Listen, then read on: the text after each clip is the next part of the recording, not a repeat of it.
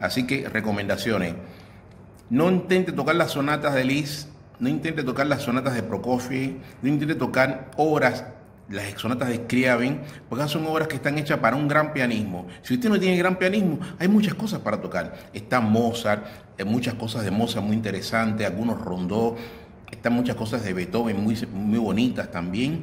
Hay mucha música escrita muy hermosa. ¿Por qué usted se tiene que angustiar tanto en tocar grandes obras para piano que no puede ni tocarla? Recuerde, las grandes obras de Liszt, las grandes obras de de Brahms, las grandes obras de Rachmaninoff, Prokofiev, Scriabin, están hechas para determinados pianistas que tuvieron una gran escuela. Si no toque otras cosas, hay muchas obras muy bellas que los grandes pianistas no tocan.